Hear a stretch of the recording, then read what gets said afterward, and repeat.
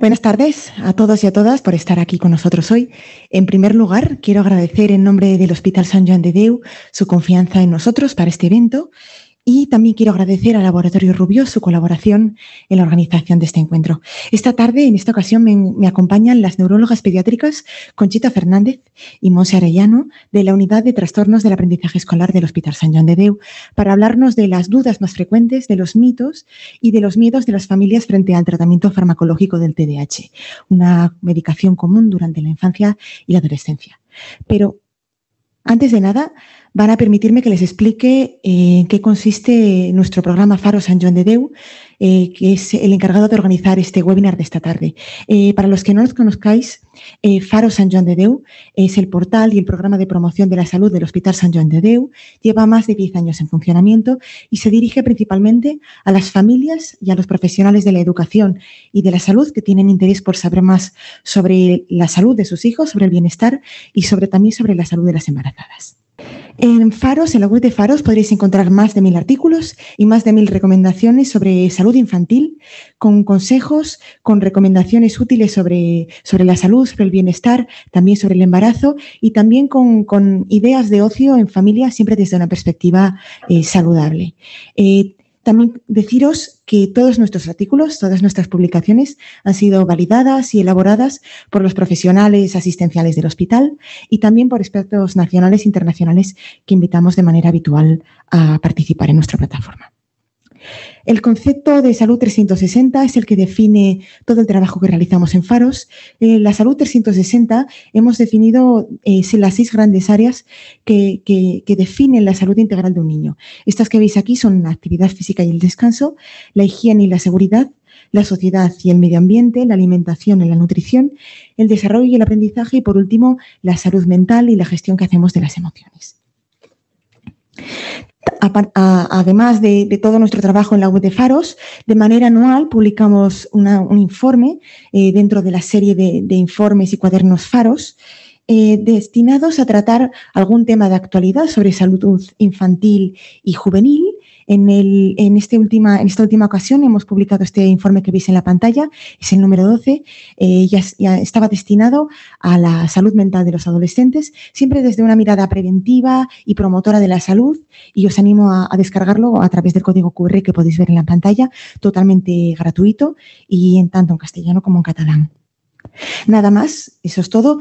Animaros también a seguiros en nuestras redes sociales, en las redes sociales del hospital, donde podréis encontrar más información sobre los próximos encuentros que organicemos, las próximas actividades y también sobre los últimos artículos que, vayamos publicando en la web de Faros. Eh, como os decíamos antes, os animo a ir dejando todas las preguntas que tengáis a lo largo de la charla en el chat para que puedan ser respondidas por las ponentes ah, durante los últimos minutos del encuentro. Y recordaros que, que si tenéis alguna otra pregunta, podéis también haceros la consulta por, a través de la web de Faros o a través de redes sociales. Muchas gracias. Eh, hola, buenas tardes. Eh, mi nombre es Conchita Fernández. Y bueno, pues eh, estamos aquí, gracias por estar con nosotros para compartir este ratito en el que no solamente vamos a hablar de, de ciencia, sino que también tenemos que hablar de mitos. ¿no? Eh, estamos en una época que es la época de, la información. Eh, sin embargo, también, eh, también estamos teniendo dificultades con la desinformación ¿no? y nos vemos obligados ¿no? a tener que aclarar algunas cosas porque hoy en día esto está haciendo mucho daño. El primer mito, el TDAH no existe. Ah, todos hemos tenido la oportunidad de, leer este tipo de afirmaciones, tanto en redes sociales, en revistas o incluso en periódicos de, grandes tiradas. La verdad es que no nos vamos a detener para, para entender cuáles son las motivaciones o los motivos por, los cuales estas personas pues hacen eh, tales mm, afirmaciones, ¿no? Sino que preferimos centrarnos en explicar por qué sí existe, ¿no? Y en qué consiste.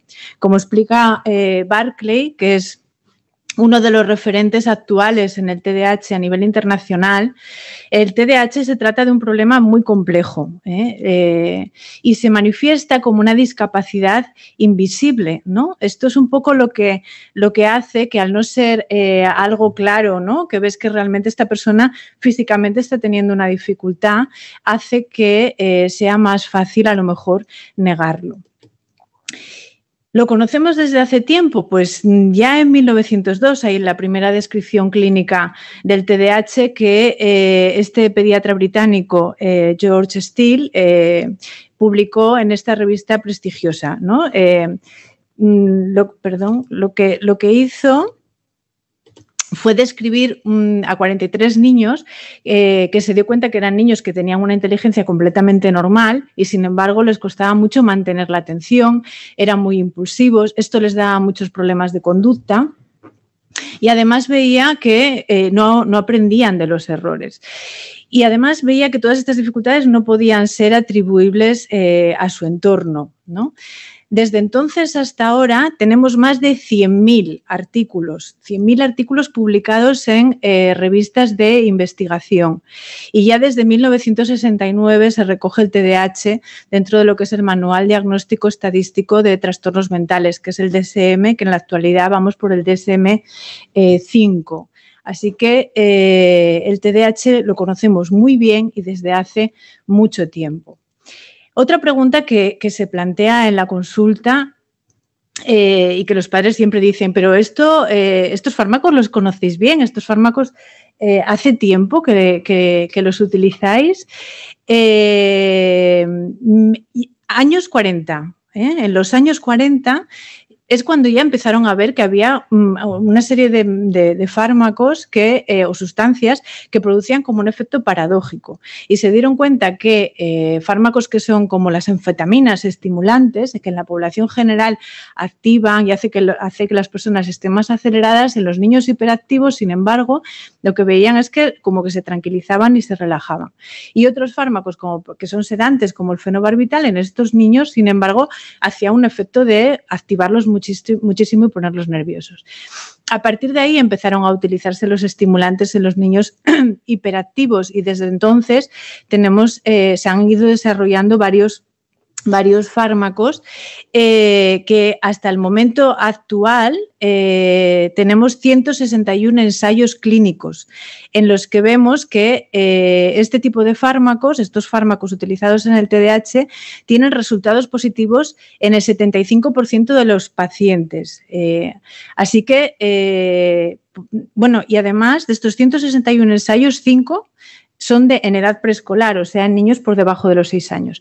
Es decir, que sí que los conocemos desde hace mucho tiempo y sabemos muy bien cómo funcionan y que efectivamente la mayoría funcionan bien, ¿no? Porque muchos padres lo que te dicen es, pero esto funciona.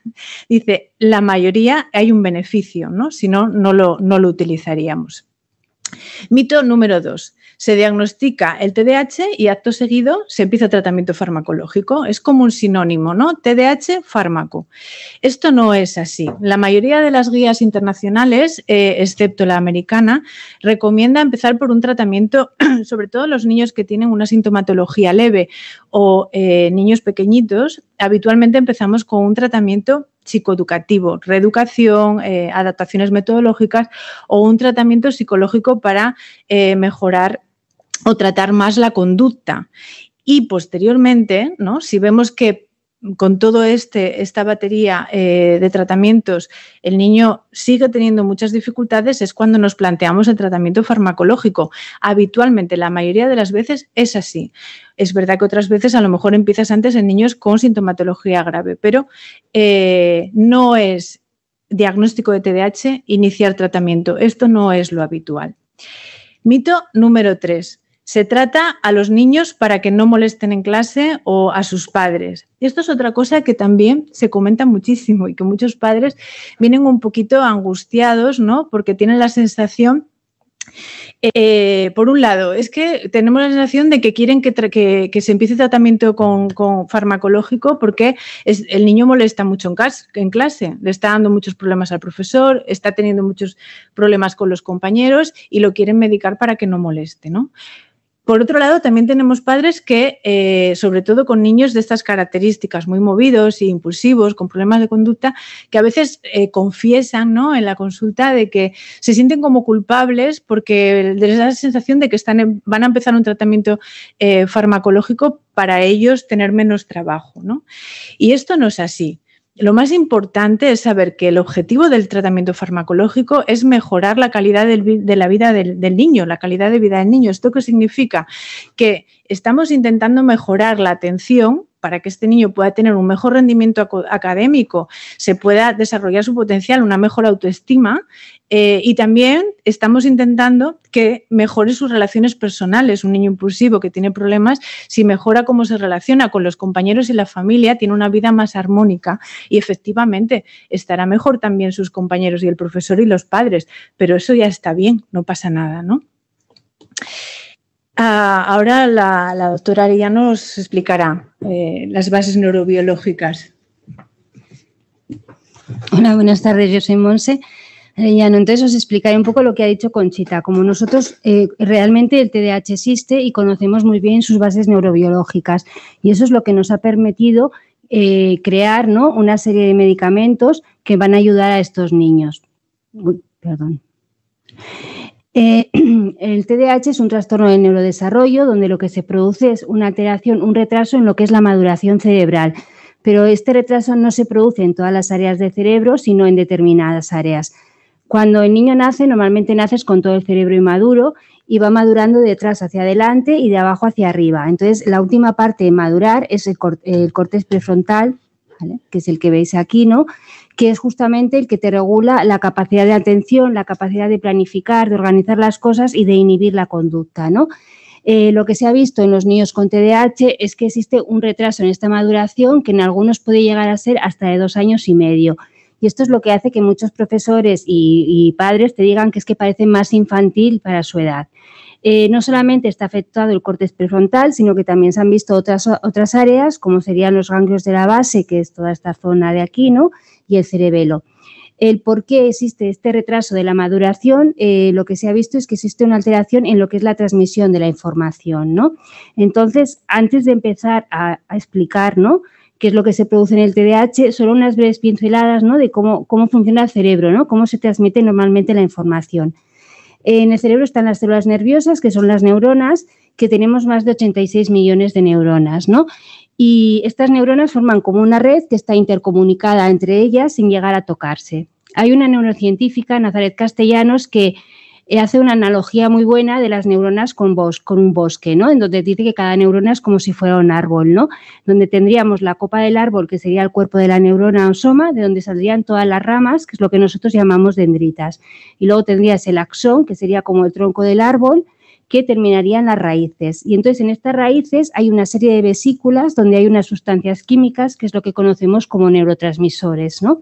Entonces, cuando eh, a nivel del cuerpo neuronal se va produciendo como una ida y venida de iones, que van haciendo que vaya como una carga eléctrica, de tal manera que ahí va mm, generándose carga hasta que llega un momento que manda como un impulso, ¿no? Como si fuera un rayo que este rayo se transmite por el axón y cuando llega a las raíces se, suelta como si fueran unos fuegos artificiales, ¿no? Entonces, esto hace que las vesículas que lleven este transmisor se liberen ¿no? al espacio entre las dos neuronas, que es lo que se llama espacio intersináptico. Entonces, la neurona de abajo, con sus ramas o raíz, o sea, con las ramas, capta estos neurotransmisores, ¿no? Entonces, esto es un poco la manera en que se va transmitiendo ¿no? la información en el cerebro. Eh, aquí tendríais una imagen donde más ampliada de esta parte de la raíz de, la raíz de la rama, ¿no? Donde veríais las vesículas. Entonces, cuando llega la, la información, la vesícula se abre al espacio intersináptico entre las dos neuronas y la neurona de abajo lo capta. Sin embargo, el cerebro intenta ahorrar energía, ¿no? Entonces, lo que hace es volver a recaptar el neurotransmisor a la neurona de arriba para que cuando llegue un nuevo impulso lo pueda volver a reutilizar. Y lo hace a través de unos transportadores que serían esta, esta imagen verde, ¿no? Entonces, lo que se ha podido ver en las personas con TDAH es que este transportador funciona demasiado. O sea, tiene como una hiperfunción, hace como un barrido de tal manera que no queda suficiente sustancia para que la capte la neurona de abajo. Entonces, la información sí que se transmite, pero no se transmite de la forma adecuada, ¿no? el neurotransmisor que está influyendo sobre, hay muchos neurotransmisores, pero los que realmente se han visto más afectados a nivel del TDAH son la noradrenalina y la dopamina, que son los que más vais a oír hablar hoy en la charla, ¿no? Esto sería un poco el resumen ¿no? de lo que estaba comentando, que es que cuando nosotros tenemos un niño con TDAH, la dopamina y la noradrenalina en el espacio entre las dos neuronas es baja, entonces el niño está distraído, desorganizado e impulsivo. Cuando nosotros le damos la medicación y bloqueamos esos receptores, es decir, subimos los niveles de estos neurotransmisores, estamos favoreciendo, esa conexión, ¿no? que todo mejore mejor a nivel de la corteza prefrontal. Entonces el niño estará más alerta, tendrá más interés ¿no? y será más capaz de organizarse. Además, también disminuimos todo ese ruido de fondo de las otras conexiones sinápticas, ¿no? favorecemos el niño con TDAH eh, muchas veces te encuentras que para él es tan importante lo que el profesor está diciendo, ¿no? Como la puerta que se cierra, como el niño que entra, que habla detrás o como el boli que se cae. Entonces, está en todos los sitios a la vez, ¿no? Entonces, con la medicación disminuye ese ruido de fondo de tal manera que el niño se puede concentrar.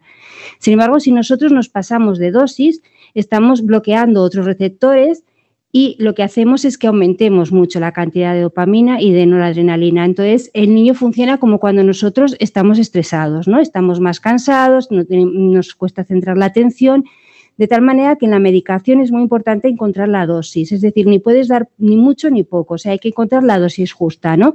Y esta dosis varía mucho respecto, o sea, según cada niño, es decir, tú te puedes encontrar un niño que tiene la misma edad, el mismo peso, la misma talla y que requiera dosis totalmente diferentes, porque depende mucho de, lo que es el metabolismo. Entonces, esto sería un poco como un breve resumen de cómo funciona todo para ya poder introducirnos ¿no? en lo que serían los, los fármacos, ¿no? Entonces, antes de, empezar a definir qué fármacos tenemos para el TDAH, Conchita os hará un poco la diferencia que existe entre un fármaco y una, y una droga. Bien, porque esto también se oye muchísimo, ¿no? Eh, en los titulares que, os he puesto un poquito antes, ¿no?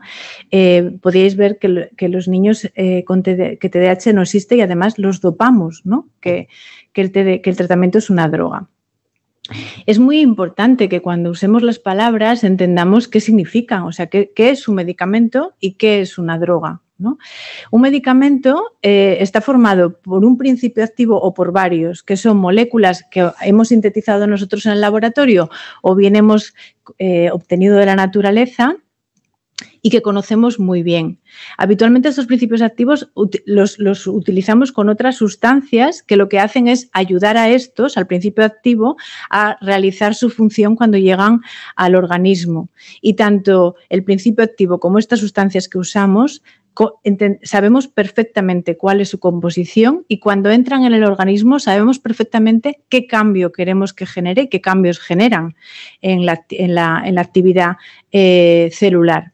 Sin embargo, cuando hablamos de una droga, eh, lo que ocurre es que sí que hay principios activos eh, como, en el medicamento, pero eh, hay muchos otros compuestos y habitualmente hay muchos otros compuestos que no tenemos muy claros cuáles son.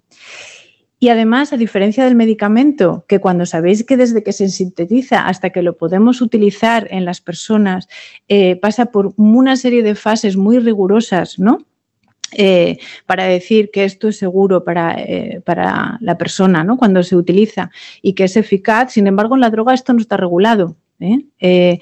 y Ah, lo que suele ocurrir es que, a diferencia del medicamento, que sabemos muy bien dónde va a actuar y qué es lo que va a pasar, en la droga no podemos prever muchísimas veces qué es lo que va a ocurrir, pero sí sabemos que suele provocar problemas de salud física eh, y o emocional.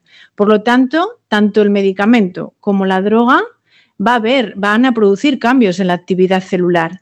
De hecho, muchas veces, ¿no? Eh, uno de los, de, las, de, los miedos es, pero, pero este medicamento va, va a cambiar, va a cambiar, va a actuar en el cerebro. Claro, eh, es lo que buscamos. ¿eh? Pero ¿por qué buscamos esto? Lo ha explicado antes Monse. Buscamos que eh, el medicamento actúe en determinadas zonas en, la, hendidura sináptica ¿no? para mejorar la conexión entre las neuronas y así curar, curar o prevenir o reducir síntomas, depende de lo que estemos tratando, de un trastorno o una enfermedad. Eso es un medicamento. Sin embargo, una droga no tiene una finalidad médica eh, y eh, lo que busca o produce habitualmente son, pues eso, relajación o alteraciones sensoriales, ¿no? Y suele dar, eh, suelen tener un componente adictivo y dar problemas de salud importantes. Otro de los miedos, ¿no? Y otra de las afirmaciones, otro mito, sería que eh, el tratamiento para el TDAH, el tratamiento farmacológico, predispone que después en la edad adulta haya un trastorno por uso de sustancias. Pues todo lo contrario. ¿Eh? Eh, mirad, en este estudio, que es un estudio multicohortes más de 40.000 sujetos, ¿vale? Que, que venían provenientes de 10 cohortes independientes, más de 40.000. El 12% habían sido tratados de su TDAH con fármacos estimulantes y no estimulantes. ¿Cuáles presentaron en la edad adulta una mayor prevalencia de trastorno por uso de sustancia? Pues aquellos en los que se inició el tratamiento farmacológico más tarde es decir, en los que se inició a una edad más tarde de los nueve años eh, y los que tuvieron menos tiempo de tratamiento, los que se trataron menos de seis años. En estos había una mayor prevalencia de este trastorno en la edad adulta, menos que, eh, a diferencia de los que se habían tratado antes de los nueve y más de seis años, que tenían el mismo riesgo que la población general que ocurriera esto. Poco para que veáis la diferencia en las contradicciones y ahora os explicará Monse de qué fármacos disponemos. Bueno, como os he comentado antes, ¿no? Los, fármacos que tenemos están dirigidos mucho a mejorar lo que es la neurotransmisión. Entonces, en este momento, en el momento actual, tenemos los fármacos que ponen en esta diapositiva, ¿no? O sea, los fármacos del tratamiento del TDAH los dividimos en psicoestimulantes y en no psicoestimulantes, ¿no? Entonces, según todas las guías, nosotros debemos o nos recomiendan empezar con metilfenidato y solo en casos determinados de los que hablaremos luego o cuando los efectos secundarios son importantes o no hace el efecto es cuando nosotros utilizaremos los no psicoestimulantes. Eh, durante muchos años la única medicación que hemos tenido era el Rubifen, que duraba unas cuatro horas. ¿no? Sin embargo, a lo largo de los años han ido saliendo diferentes marcas comerciales que todas tienen en común que son metilfenidato, pero que se diferencian una de otra en, la manera en que tienen de liberarse, ¿no? Con lo cual también en lo que es la duración de la acción, ¿no? Entonces, eh, los, eh, o sea, ahora haré unas breves nociones ¿no? del psicoestimulante, que es realmente el que vamos a utilizar y el que casi todo el mundo conoce, ¿no? que serían el metilfenidato y el dimetilato de lisdesanfetamina. Entonces, el metilfenidato, esto es un esquema eh, de lo que he comentado antes, ¿no? en las vesículas está la dopamina y la noradrenalina, salen al espacio entre las dos neuronas y lo capta la neurona de abajo. Entonces, el metilfenidato, que es la bolita amarilla, bloquea esos receptores, con lo cual no pueden volver a la neurona de arriba y eh, están durante más tiempo, ¿no? En el espacio mejorando la transmisión. Entonces, dentro del metilfenidato, como he dicho, tenemos todas estas marcas comerciales, donde tenemos los que duran cuatro horas, que serían el Rubifen y el Medicebran, los que duran ocho horas, ¿no? que serían el Quasin, Rubifen Retar y Medikinet, y eh, los que duran 12 horas, que serían el Concerta y el Rubicrono. Eh, lo de las horas es todo un poco aleatorio, o sea, es más o menos porque luego tienes niños que el de 8 horas le puede durar 10 horas o que a las 6 horas ya no tengan efecto, porque depende mucho del metabolismo que tenga cada niño, ¿no? Entonces, el metilfenidato de liberación inmediata, tenemos el Rubifen y el Micebran, que son exactamente iguales, lo que pasa que uno tiene lactosa y el otro no. Y esto hoy en día, con tantas intolerancias, es algo que sí que hay que tener en cuenta, ¿no? ¿Cuándo vamos a utilizar el metilfenidato de liberación inmediata? Sobre todo en niños pequeños. Como habéis visto, son unas pastillas muy pequeñas, con lo cual no importa que no sepan tragar porque las puedes machacar tranquilamente. Y entonces, eh, generalmente lo usas en niños pequeños o que tienen muy bajo peso, porque todos sabemos, y hablaremos después, que un efecto secundario que más se repite es la pérdida del apetito. Entonces, con estos, como duran cuatro horas, la comida queda en el momento en que no, tienen, no tiene acción el medicamento. Muchas veces también lo usas para, para usarlo con, combinarlo con otro. Muchas veces el niño no sabe tragar, pero tú sí que necesitas 12 horas, pues estás dando uno de 8 horas y luego el de 4 horas, ¿no? Para cubrir. Eh, lo de bajo nivel socioeconómico es porque además son las más baratas que hay, porque como son incómodas, como te, obligan a dar tres veces al día o dos veces al día, eh, eh, realmente a nivel de precio son las más económicas, ¿no? Y luego también se utiliza mucho en pacientes que, se autogestionan el tratamiento. O sea, tú te encuentras adolescentes que durante la semana están utilizando el de 12 horas, pero el fin de semana se levantan a las 12 del mediodía, con lo cual no pueden tomarse esa medicación, ¿no? Entonces, el fin de semana, pues cambian a uno de cuatro horas, ¿no? O hay gente que está en la universidad y que ya, ya con la maduración y la reeducación ya saben organizarse, planificarse, pero que en el momento de los exámenes sí que necesitan una ayuda a nivel de concentración. En segundo lugar, tendríamos los que duran ocho horas, que son unas cápsulas que en su interior llevan unas esferas, que luego veréis, y entonces estas esferas hay unas que se liberan de forma inmediata y las otras se liberan más tarde, y con eso prolongas la acción ocho horas. Entonces tendrías el Medikinet y el Rubifen Retar, que lo que hacen es que se libera el 50% en el momento y el 50% a las cuatro horas, ¿no? Y el Equasin, que lo que hace es liberar un 30% al inicio y luego un 70%. Entonces, la decisión de uno u otro depende también del tipo de asignaturas que tengan a primera hora, ¿no? Y de cómo eliminen, por así decir. Como veis, aquí está la imagen, ¿no? Con las, con las distintas esferas que hay dentro de, la cápsula, de tal manera que si el niño no sabe tragar, se puede abrir la medicación y ponerla en una cuchara y para adentro. Y no se puede mezclar con cualquier cosa, ¿no? Eh, el Medikinet y el Rubifenretar, como veis, los dos se liberan un 50 y 50, eh, pero no son iguales. ¿no? El Rubifenretar se diferencia del Medikinet en que al mediodía, o sea, a las 4 horas, hace como una bajada de tal manera que a esa hora hay menos efecto, con lo cual esa pérdida de apetito es inferior a la que te puede producir otros, otros metilfenidatos. ¿no? Luego vuelve a elevarse nuevamente, con lo cual, en vez de durar 8 horas, puede que incluso se alargue un poco más. ¿no? Entonces, ¿cuándo lo utilizaremos? Como he dicho, en los niños que no saben tragar, ¿no? Eh, en los niños en que necesitas una duración prolongada, es decir, que tú das uno de 12 horas y no te cubre el día, o no sabe tragar, pero tú necesitas 16 horas, ¿no? Entonces a veces das incluso dos, ¿no? Uno a las 8 de la mañana y otro a las 4 o 5 de la tarde, ¿no? Eh, y también al inicio del tratamiento cuando no sabes muy bien. Muchas veces en la primaria, que, la, que las interferencias más importantes son en el colegio a nivel de atención, utilizas el de ocho horas porque luego una vez que llegan a casa tampoco tienen tantos deberes, ¿no? Y evitas el efecto secundario de la noche del sueño, ¿no? Y mm, por último, el que más conoce todo el mundo, ¿no? que es el de 12 horas, que serían el concertado el rubicrono.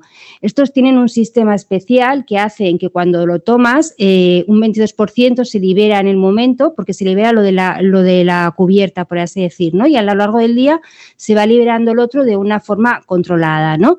Entonces, estos no puedes partirlos porque si los partes rompes por completo el mecanismo, ¿no? Entonces, eh, las pastillas son pequeñas, realmente son como el tamaño de una tecla de ordenador, pero sí que es obligatorio que el niño sepa tragarlas, ¿no?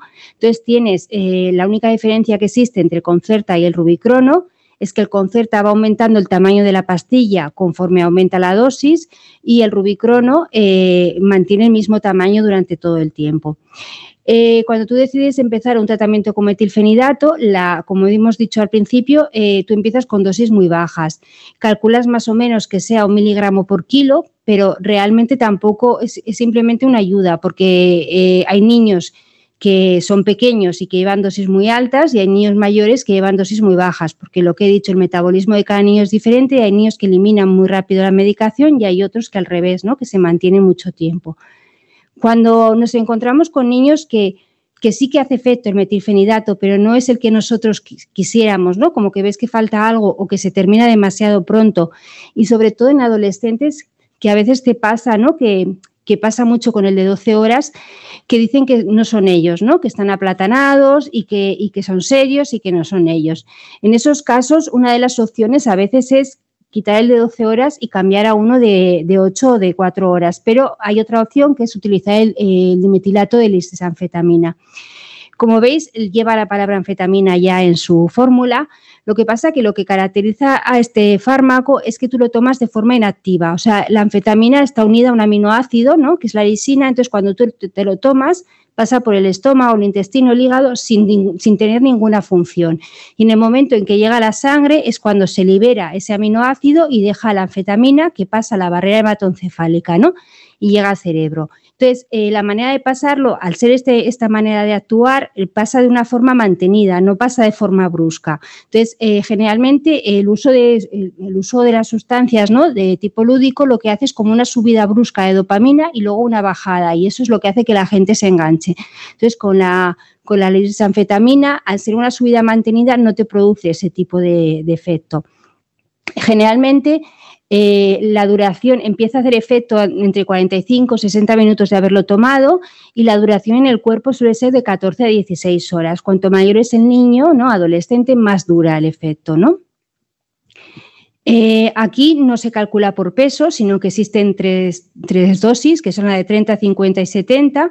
Y estas dosis tú empiezas siempre con 30 y según el efecto va subiendo. Eh, como veis, sí que se puede abrir y disolver en agua y eso te permite que si el niño es más pequeño, incluso empezar con menos dosis, ¿no? Empezar con 15 miligramos porque tú lo estás disolviendo en agua y coges, pues lo disuelves en 10 centímetros, coges solo 5 y guardas porque se puede guardar en la nevera hasta, hasta 24 horas, ¿no? Y al día siguiente darle la siguiente dosis. Eh, como he dicho antes, cuando no, tenemos el efecto deseado o están contraindicados los psicoestimulantes, utilizamos lo que llamamos los no psicoestimulantes, ¿no? que sería la atomosetina, donde tenemos el estratera o el atamás y la guanfacina donde solo está el intunif, ¿no? Entonces, eh, ¿cuándo los vamos a utilizar? o cuando no han respondido o cuando los efectos secundarios no nos permiten darlos, ¿no?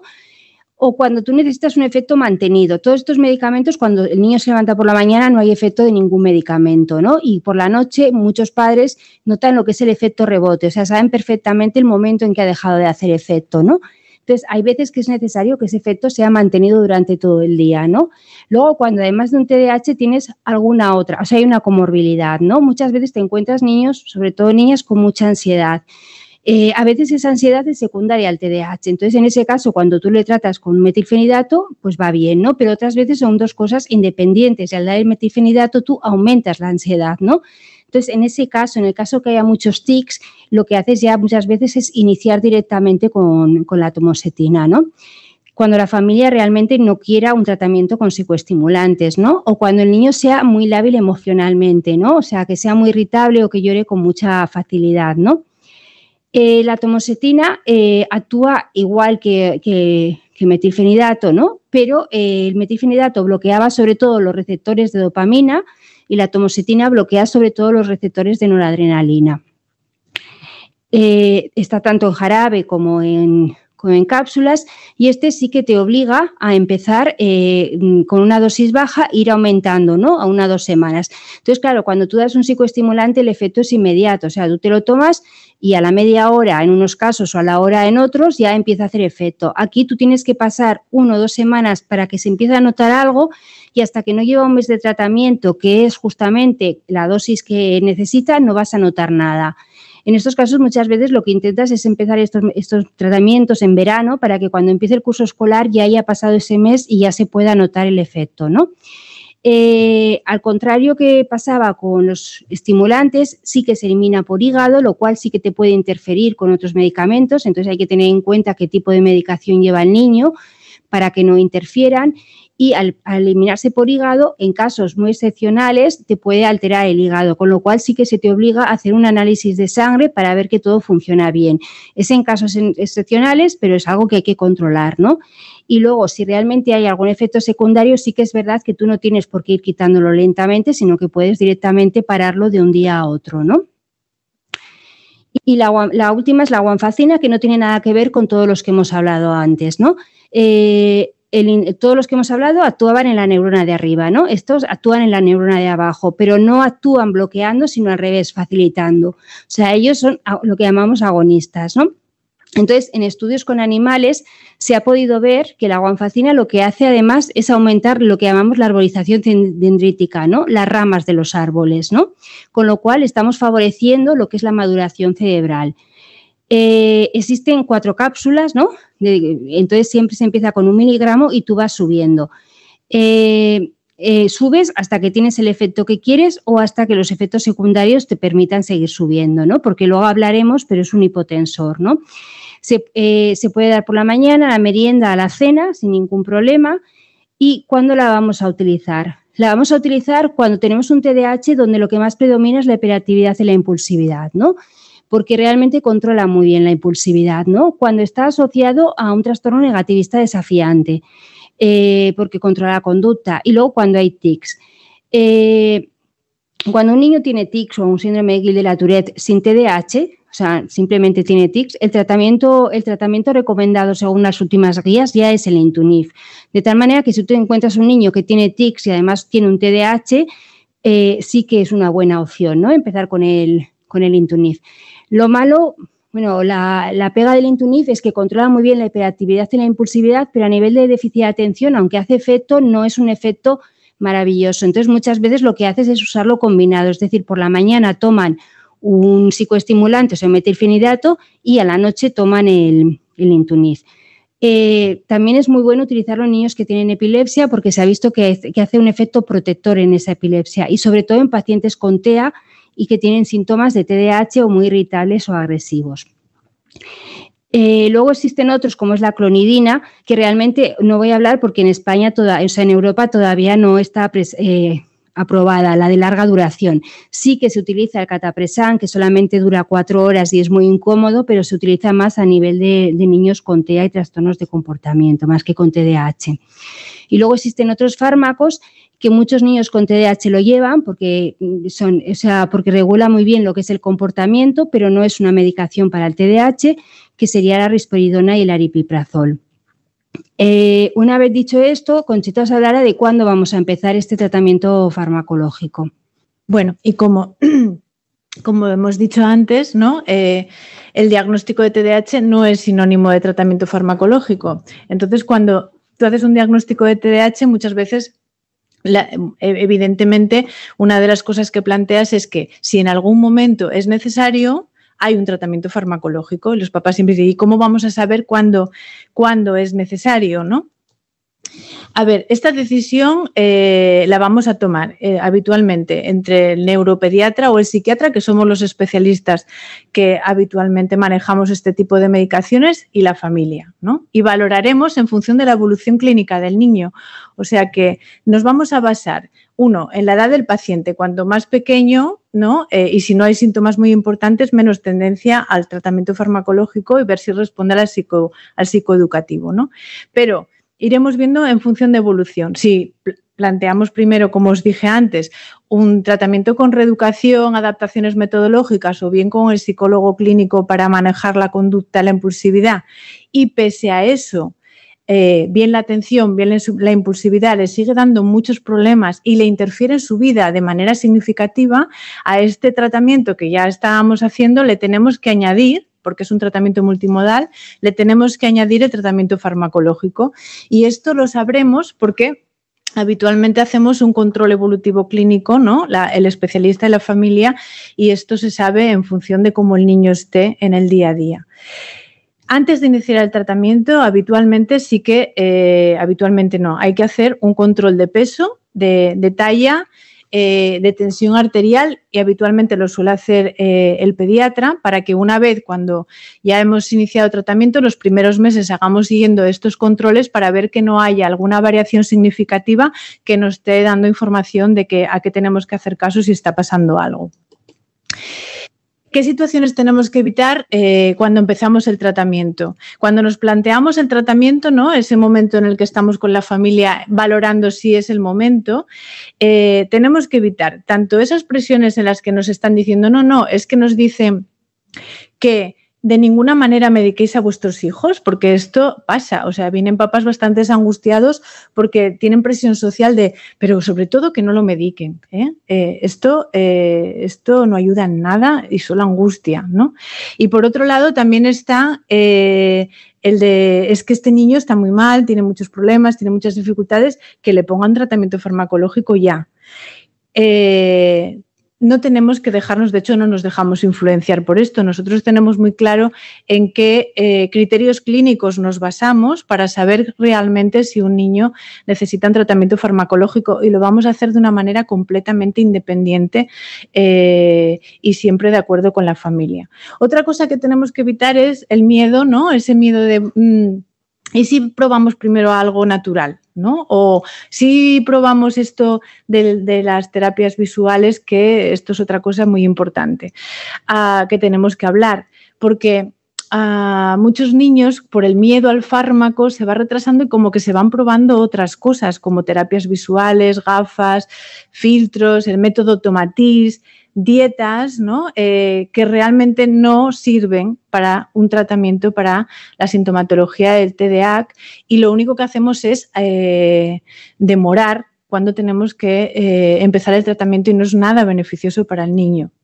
El omega 3 lo he dejado ahí colgado para el final porque sí que es verdad que el omega 3 es el único que se ha descrito que realmente hay un beneficio en la atención, ¿vale?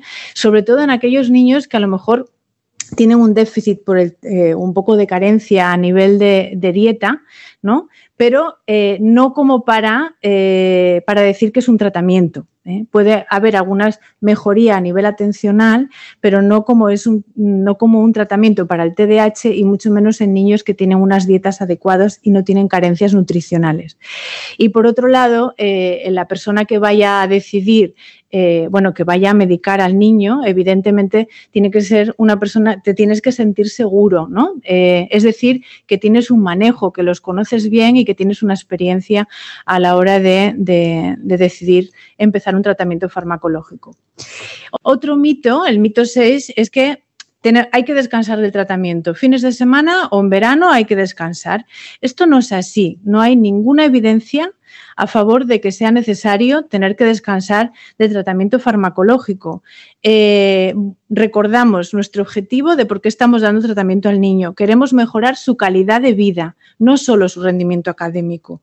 Es decir, no le vamos, mire, le, da, le damos el tratamiento de lunes a viernes y el sábado y domingo seguimos con las mismas dificultades que tiene que lidiar en el día a día, ¿no? ¿no? No tiene ningún sentido y no es necesario. Sí que es verdad que hay niños, y esto siempre eh, el tratamiento es individualizado, las decisiones que tomas son individualizadas en cada niño. A veces hay niños pues que sí que decides hacer ese descanso. ¿Y por qué? Pues, pues a lo mejor tienen efectos secundarios eh, que nos está a lo mejor eh, siendo difícil de controlar. Uno de ellos, por ejemplo, es la pérdida de apetito, ¿no? Y, y te, te cuesta mantener el peso o han perdido mucho peso, ¿no? Sin embargo, hay un beneficio muy claro, el niño está mucho mejor, su vida va mucho mejor. Y entonces dices, bueno, pues a lo mejor descansamos los fines de semana, que el niño coma bien, no hay ningún problema, y es una manera de, eh, compensar. Pero es una cosa muy una decisión muy individualizada y para nada hay que descansar fines de semana eh, o en el verano. Mito 7. El tratamiento farmacológico ya es para toda la vida, entonces, ¿no? No es así. Eh, volvemos otra vez, depende de la persona, pero en general no es así. La idea es eh, empezar un tratamiento. Si lo empiezas antes, ¿no? Eh, y durante unos años ha tenido este tratamiento farmacológico junto con la, ¿no? con el tratamiento psicoeducativo, que lo que estás haciendo es que él pueda o ella aprender estas herramientas, estas estrategias para compensar la, sintomatología del TDAH, esto junto hace que a la larga, cuando este, esta zona prefrontal ya esté mucha más madura, pues puedes retirar el tratamiento farmacológico. Muchas veces eh, consiguen compensar y ya con estas estrategias que han aprendido durante estos años pueden seguir sin, sin necesitar el fármaco. Esto es muy frecuente y también es bastante frecuente que a lo mejor lo necesiten en etapas diferentes de su vida, ¿no? Durante estos años se lo hemos dado, hemos parado porque ya era no necesario, sin embargo, unos años después, por un requerimiento, unas exigencias ¿no? mayores, depende de lo que esté haciendo, pues a lo mejor necesita un tiempo de tratamiento farmacológico otra vez y esto es una posibilidad. Y ahora uh, Monse hablará de los efectos secundarios de los fármacos. Bueno, ahora ya vamos a terminar un poco ¿no? con todo, con lo que más preocupa a los padres, ¿no? que son los efectos secundarios. Uno de ellos, de los estimulantes, ¿no? tanto el metilfenidato como del Elvanse, es el efecto rebote. Muchas veces tú empiezas el tratamiento y justamente tienes el efecto contrario a lo que esperabas. Y esto es un poco, eh, es lo que he dicho al principio, o sea, o bien nos hemos pasado de dosis o bien el niño es demasiado sensible y requiere dosis más pequeñas por mucho peso que tenga, ¿no? Entonces, ¿dónde lo vamos a ver esto? Lo vamos a ver sobre todo en niños pequeños, lo que he dicho, cuando tratas a un niño por debajo de los seis años, aunque esté permitido, vas a tener más efectos negativos que positivos y cuando haya asociado un TEA o cualquier otra alteración, ¿no? Eh, el más temido de todos, la disminución del apetito. Es verdad que se produce hasta un 40% de los niños, es decir, que uno de cada seis niños no van a tener. ¿Qué es lo que vemos? Que el niño que come mal va a empeorar y que el niño que come bien y que dices que bien adelgazará, ese no empeora y ese sigue comiendo exactamente igual de bien. Entonces, lo que sí que se ha visto es que no se relaciona con la dosis. Entonces, antes de empezar la medicación, sí que hay que hacer una buena historia clínica donde sepas si este, cómo come normalmente este niño, porque muchos de ellos no desayunan de tal manera que almuerzan a media mañana, que cuando tú das la medicación a media mañana es cuando tienes todo el efecto, ¿no? De tal manera que sabes que ese almuerzo se lo van a saltar. Entonces, lo que tienes que intentar es obligar a que desayunen o recomendar el desayuno y luego por la noche, que realmente ya no hay efecto de la medicación, intentar que tomen comida rica en hidratos de carbono para que no haya realmente esa pérdida de peso, ¿no? O a media mañana dar nueces o plátanos, que es poca cantidad pero mucha energía, lo que hace que no haya tal pérdida de peso. Y el otro efecto secundario que se ve bastante frecuente son los problemas del sueño. Realmente pasa un poco como el apetito, ¿eh? es más una comorbilidad, es decir, el que dormía bien sigue durmiendo bien o le cuesta un poco coger el sueño sin más y el que dormía mal lo empeoramos. Lo que realmente afecta es al conciliar el sueño. O sea, una vez que lo cogen, duermen como han dormido siempre o incluso se ha visto que, que disminuyen los despertares nocturnos. Claro, aquí es lo mismo, o sea, eh, muchas veces esto ocurre más con el de 12 horas, ¿eh? pero muchas veces lo que ves tú es que están muy enganchados a las pantallas y que se van a la cama con el móvil con la excusa de que lo usan de despertador, ¿no? O que están estudiando hasta las tantas, cierran el móvil y con toda actividad cerebral, eh, o sea, el ordenador, se van a la cama, ¿no? Entonces, realmente primero es poner una serie de, pautas, ¿no? Y si luego, a pesar de todas estas pautas, el niño continúa con todos estos problemas de dormir, entonces se plantea el dar la melatonina. Eh, estos efectos que he puesto aquí son algunos efectos secundarios que los puedes ver en estos niños con esta medicación, pero que realmente lo normal es que duren entre una y dos semanas. Entonces tú simplemente los controlas y si son de los que se mantienen, planteas eh, si cambiar de medicación. A veces simplemente con cambiar dentro del metilfenidato a, en vez de una liberación de 12 horas a una liberación de 8, muchas de ellos ya, ya desaparecen, ¿no? Pero sería la cefalea transitoria, que se ve más en niños que ya previamente son migrañosos, ¿no? La labilidad emocional, que eso sí que se ve que las primeras semanas, y esto se ve bastante, están más blanditos, más llorones, pero realmente esto es de los que sí que disminuye, ¿no? O desaparece. Y luego hay algunos raros, pero que a veces los ves, que es la sensación de frío en manos y pies, o aquí no le he puesto, pero las pupilas dilatadas, ¿no? Estos eh, tienden también a desaparecer y no dan ningún problema. Eh, en el caso de, los no psicoestimulantes, los efectos secundarios también son similares. Lo que pasa es que en vez de quitar el apetito te pueden dar somnolencia. Lo que haces es dar la tomosetina por la noche en vez de por la mañana, ¿no? Disminuyen el apetito también y también te dan una sensación de náuseas, de boca seca, ¿no? Y de, dolor abdominal que generalmente es transitorio.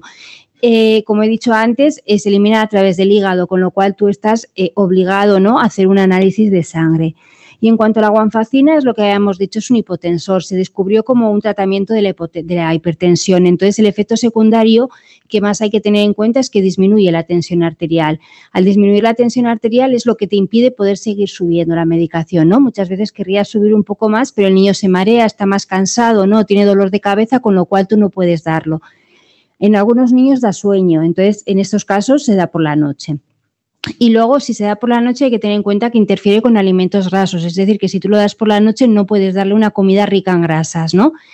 Eh, como es un hipotensor, es necesario tener una valoración cardíaca si hay algún antecedente ¿no? de, de, alteración cardíaca, ¿no?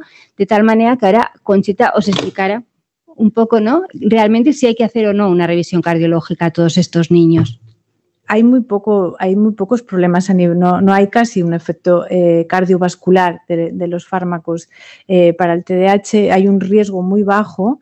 Eh, sí que es verdad que en los estimulantes puede haber cambios mínimos de tensión arterial y frecuencia cardíaca, por eso comentaba antes de que tenemos que hacer primero una toma de tensión arterial y después durante los primeros meses hacer un control para ver que no haya cambios significativos, pero esto es una rareza.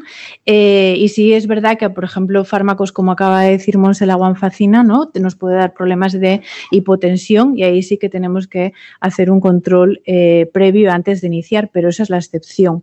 Em, a veces lo que ocurre es que hay una confusión en el sentido de que nosotros a los padres decimos no hay que hacer eh, un electrocardiograma ni nada antes de iniciar el tratamiento y sin embargo cuando llegan al pediatra, el pediatra se insiste en que quiere hacer una analítica y quiere hacer un electrocardiograma y demás. Bueno, ¿Esto por qué ocurre? Esto ocurre porque es lo que os decía antes, eh, la persona que maneja el tratamiento farmacológico, que somos nosotros, los psiquiatras y los neuropediatras, estamos, sabemos mucho de estos fármacos porque los tenemos muy por la mano, los pediatras no tanto, y entonces a veces les da un poco de miedo esto y prefieren quedarse a gusto haciendo un electrocardiograma, como es una cosa inocua y no pasa nada, pues decimos, mira, no pasa nada, pero realmente no es necesario en los pacientes, en niños, ¿no? que tienen un problema cardiológico de base, que ya tiene una cardiopatía congénita o que tiene otro problema cardiológico y hacen un seguimiento con el cardiólogo, ahí lo que hacemos es nos coordinamos con el cardiólogo, le explicamos por qué creemos que necesitaría un tratamiento para el TDAH y entonces eh, sería el cardiólogo o la cardióloga la que le decidiría si esto no hay ningún problema de dárselo y qué controles haríamos.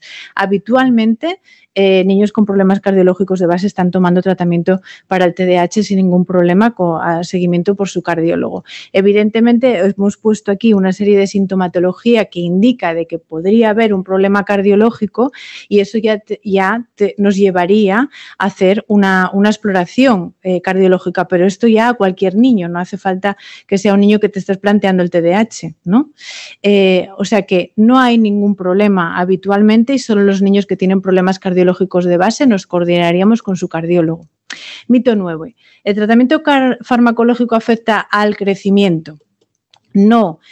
Eh, muchos niños bajitos, decís que ya eh, nos estamos que se va a quedar más bajito. El 30 por 40% de los niños lo que puede haber es un leve lentecimiento y que se retrase cuando alcance su talla diana 6-9 meses, pero no va a afectar. Mito número 10. El tratamiento farmacológico empeora los tics o los produce. Eh, es muy, muy frecuente que los niños que tienen un trastorno por TDAH eh, en algún momento vayan a tener tics. ¿Qué significa? Que si nosotros empezamos un tratamiento farmacológico en un niño con TDAH e inicia tics posteriormente, no tiene por qué ser el tratamiento farmacológico los que lo ha producido. A lo mejor los iba a iniciar igualmente. Evidentemente, si son tics muy intensos y que les dan problemas para la para su día a día, pues vas a retirar fármacos y vas a ver qué pasa con esos tics y vas a diferenciar si ha sido el fármaco o no. Y luego en pacientes como por ejemplo un Tourette o que tienen tics importantes, ahí evidentemente utilizarás determinados fármacos que ya lo he explicado antes Monse, ¿no? como la guanfacina o la tomoxetina, que eh, respetan bastante los tics y van bien. Mito número 11. El tratamiento farmacológico para el TDAH está contraindicado cuando un niño tiene una epilepsia. No, no está contraindicado, pero tenemos que tener en cuenta una serie de cosas. El tipo de epilepsia y si está controlada. Habitualmente, si el niño tiene una epilepsia eh, donde las crisis están controladas y está estable, en principio no está contraindicado empezar tratamiento, de hecho lo hacemos, eh, y así podemos saber si, el tratamiento farmacológico le, le empeora o no. Habitualmente hay muchos niños con epilepsia que están también tomando fármacos para el TDAH sin problemas. Pero si tenemos una epilepsia que está descontrolada, el iniciar tratamiento farmacológico con el TDAH puede ser un factor de confusión. Y si empeora la epilepsia, no sabemos si es porque ya le tocaba empeorar su epilepsia o no. Y ahí es donde tendremos un poquito más de control, pero no está contraindicada y es frecuente utilizarlo. Conclusiones. El TDAH es un trastorno del neurodesarrollo descrito hace más de 100 años y que en la actualidad conocemos sus bases neurobiológicas. El metilfenidato se sintetizó ya hace más de 60 años y desde entonces múltiples ensayos clínicos corroboran sus beneficios y su seguridad para el paciente. El diagnóstico de TDAH no es un sinónimo de precisar medicación. El objetivo de tratamiento es mejorar la calidad de vida del niño el tratamiento farmacológico para el TDAH es un medicamento, no una droga. Cuanto antes se inicie el tratamiento y durante más tiempo, menos riesgo de trastorno por abuso de sustancias en la edad adulta. Disponemos de gran variedad de fármacos que nos permiten diseñar un tratamiento muy individualizado para cada niño. La decisión del inicio del tratamiento será tomada entre el neuropediatra o psiquiatra y la familia del niño. Y por último, antes de iniciar el tratamiento hay que hacer una historia clínica ¿no? y un buen examen que incluya la tensión arterial, la frecuencia, el peso y la talla. No es necesario hacer el descanso de fines de semana, verano, y no es para toda la vida. No es necesaria una revisión cardiológica antes de iniciar el tratamiento, solo en determinados casos. No afecta a la talla final del niño. es mucho más frecuente la existencia de una comorbilidad entre el TDAH y los tics que que el tratamiento farmacológico produzca los tics, aunque sí que los puede empeorar y hay otras alternativas. Y la epilepsia no contraindica el inicio de un tratamiento para el TDAH siempre que en ese momento la epilepsia esté bien controlada. Y con esto terminamos y muchas gracias por vuestra atención.